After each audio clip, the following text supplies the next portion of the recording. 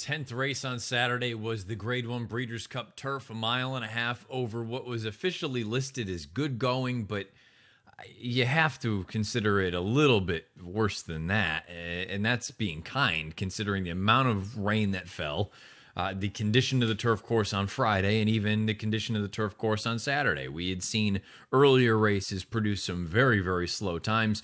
This race, in the grand scheme of things, it wasn't a, a painfully slow time, but I think that's mainly a product of the top two fillies. You can take a look at the field. 13 of them were signed on. All eyes were on Enable, the super filly, arguably the best horse in the world. She would put her right there with a horse like Winx. Um, she was going for the elusive double, the ARC Breeders' Cup Turf double. It had not been successfully completed to date um, in the same year, I should say. All eyes were on her, but Aidan O'Brien was coming with some pretty live chances as well. Most notably, Magical, a three year old filly, taking on her elders, getting a little bit of a weight allowance. Not sure many people thought it would be this close if she was going to get the job done, but in fact it was the stretch run of this year's Breeders' Cup Turf. Side run, and they're into the stretch, and the two fillies are one, two, Magical and Enable, and they kick on from Sadler's Joy. It's Enable on the outside, in the center of the turf course. She has taken the lead, and she's pulling away from Magical, who continues to battle her though. It's these two, one, two, down to the finish. Enable and Magical, and they're well clear of the others. Racing royalty, Enable and Frankie Dettori. The arc winner Breeders' Cup Turf winner too. Enable gets the job done. She is the first horse in history to win the Arc de Triomphe as well as the Breeders' Cup Turf in the same year. She wins at odds of four to five. Magical runs runs her eyes out. Giant, giant effort from her to run second at odds of 10 to 1 beneath Ryan Moore. Sadler's Joy, one of the American horses, runs third at odds of 37 to 1, and Arklow runs fourth at odds of 53 to 1. Let's discuss Enable a little bit. The Super Filly, she is four years old. She has won 10 of 11 starts lifetime, only one loss to date, and she finished third that day. She is over $10 million in career earnings, 10.7 million to be exact. Owned by Juddmonte Farms Limited, trained by John Gosden, bred by Juddmonte Farms Limited in Great Britain. Ridden to victory by Frankie Dettori. You can see the pedigree at the bottom of the horse card. She's by Nathaniel out of a Sadler's Wells mare named Concentric. Uh, from a speed figure standpoint, this was an exceptional effort from both of the fillies. 133 Timeform US ratings, pace adjusted. For each of them, Enable earns a 114 by speed figure and a 113 for Magical. When you look and see a horse like Sadler's Joy, we know Sadler's Joy here in the United States. His MO is a big, big late finish. Now, he may not love ground with some cut, and, and again, it's it was officially listed as good. I think it was still probably slightly closer to yielding, but that's just my opinion.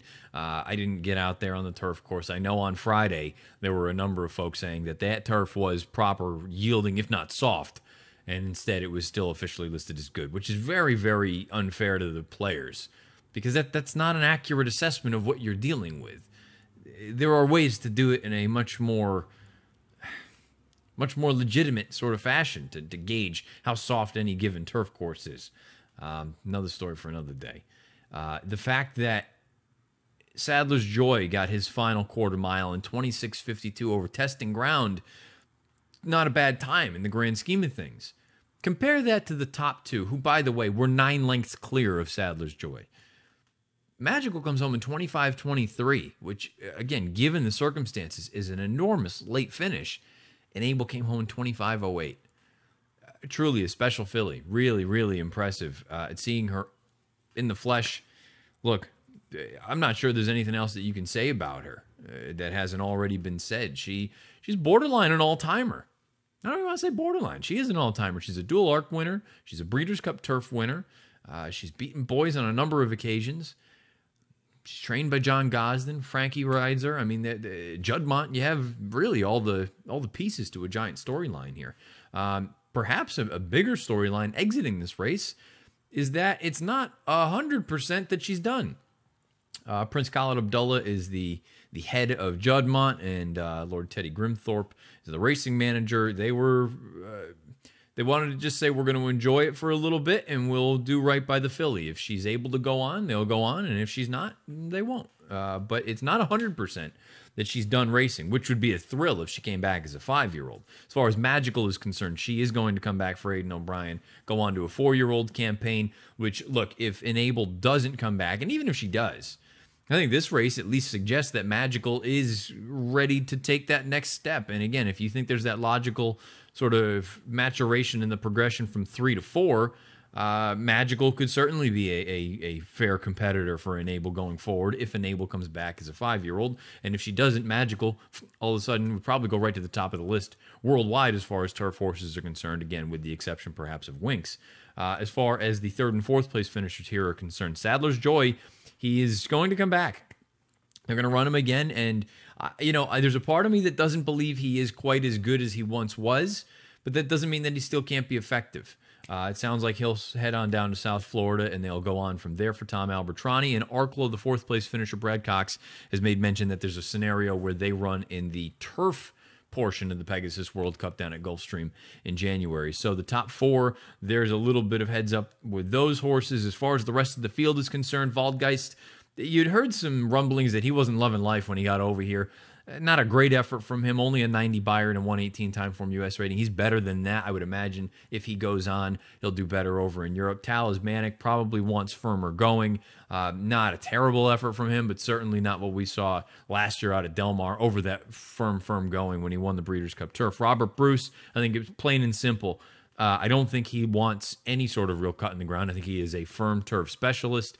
And to be fair, I, I, do think personally, I think this distance is a little bit far for him. I think he's better at the mile and a quarter, mile and an eighth type races. Hunting Horn, he was basically in there trying to run interference with the Enable. He had hemmed her in for the longest time.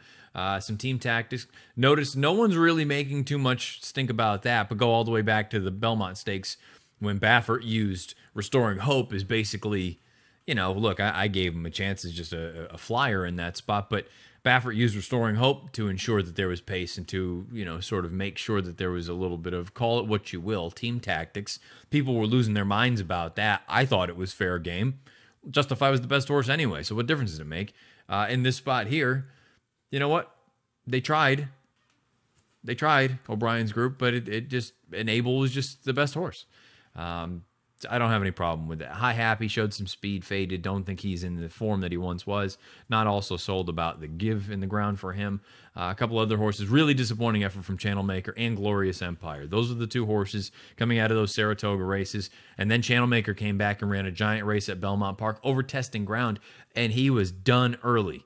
Done early. I liked him. Maybe it was just me. Maybe there was too much weight on his back. Um, Terrible effort from him. Terrible effort from Glorious Empire. You just hope that they're okay. And Liam the Charmer, truth be told, he's not of this caliber. And when you give him some turf that he's just totally unfamiliar with, uh, I don't think that was ever going to work for him. This was a phenomenal show.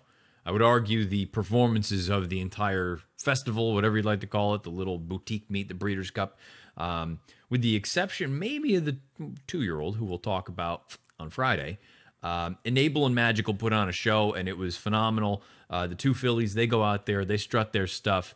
Enable gets the job done. She is the first horse in the same calendar year to win the Arc de Triomphe as well as the Breeders' Cup Turf. She earns a 114 Beyer speed figure and a 133 Timeform US rating. We will find out. Nothing confirmed, but the door has been slightly left ajar. Perhaps we get to see her as a five year old. If we don't, she's going to go down as one of the best of all time. I would imagine that there's a real case where you can make that statement, where maybe she is one of the one of the all time greats as far as turf is concerned. Certainly one of the all one of the the more recent greats anyway, over the past five to ten years. Enable a true superstar. She gets the job done in the turf.